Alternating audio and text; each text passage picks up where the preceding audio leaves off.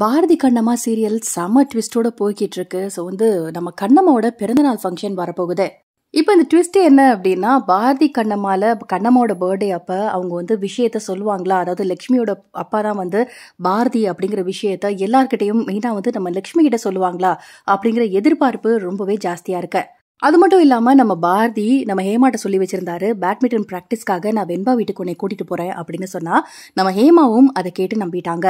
இதை வந்து சௌந்தர்யாமா ஒரு பக்கம் ஓட்டு கேட்க வீட்டுக்கு முன்னாடியே சூப்பரான ஒரு பேட்மிண்டன் கோர்ட் வந்து அவங்க அதை வந்து செஞ்சுட்டு நான் வந்து உனக்கு கோச்சிங் தரேன் கோச் கொடுக்குறேன் கூட்டிட்டு வந்து அப்படிங்கிற மாதிரி அவங்க செய்ய போறாங்க. பாரதிக்கு உடனே கோவம் வந்து என்ன சொல்ல போறாரு அப்படின்னா நீங்க என்னை என் பொண்ணை பிரிக்கிறதுக்காக தானே இந்த வேலையெல்லாம் பண்ணிட்டு இருக்கீங்க. நீங்க என்ன டிராமா பண்ணாலும் சரி நான் வெண்பா வீட்டுக்கு ஹேமாவை கூட்டிட்டு போக தான் போறேன்.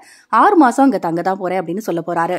இப்போ வந்து நம்ம ஃபேன்ஸோட கேள்வி என்ன அப்படின்னா இப்போ மட்டும் கோர்ட் வந்து சொல்லாதா? எதுவும் வந்து இவர் இப்படி பண்ணிட்டு இருக்காரு வெண்பா வீட்டுக்கு போக போறாரு. ஆக்சுவலாக கண்ணம்மா வீட்டில் இருக்கணும் அப்படிங்கிறதான் தீர்ப்பாக வந்தது. ஆனால் வெண்பா வீட்டுக்கு இவர் போக போறாரு கோர்ட் வந்து பேசாமல் அமைதியாக அதெல்லாம் பார்த்துட்டு இருக்குமா? இல்லை நம்ம கண்ணம்மாவும் பாரதியும் வந்து பேசி வச்சுட்டு பிரிஞ்சுட்டாங்களா? ஒன்றுமே புரியல. ஒரு குழப்பத்தில் தான் இந்த சீரியலை வந்து கூட்டிட்டு போயிட்டே இருக்காங்க. நம்மளும் அதை பார்த்துட்டே இருக்கோம். ஆனால் இனி வரப்போகிற சீரியல் என்ன நடக்க போகுது அப்படின்னா வெண்பா வீட்டுக்கு பாரதி போக போறாரு. குடும்பமே அதிர்ச்சியில் இருக்க போகுது. அதுதான் இப்போ விஷயமாவே இருக்க போகுது. ஸோ இந்த ஒரு தகவலை பற்றி நீங்கள் என்ன நினைக்கிறீங்க அப்படின்னு உங்களோட கருத்துக்களை மறக்காம கமெண்ட் செக்ஷனில் சொல்லுங்கள் இந்த வீடியோ பிடிச்சிருந்தா லைக் பண்ணுங்க. இந்த மாதிரி வீடியோஸ்க்கு நம்ம ஷேரில் மறக்காம சப்ஸ்கிரைப் பண்ணுங்க. தேங்க்ஸ் ஃபார் வாட்சிங்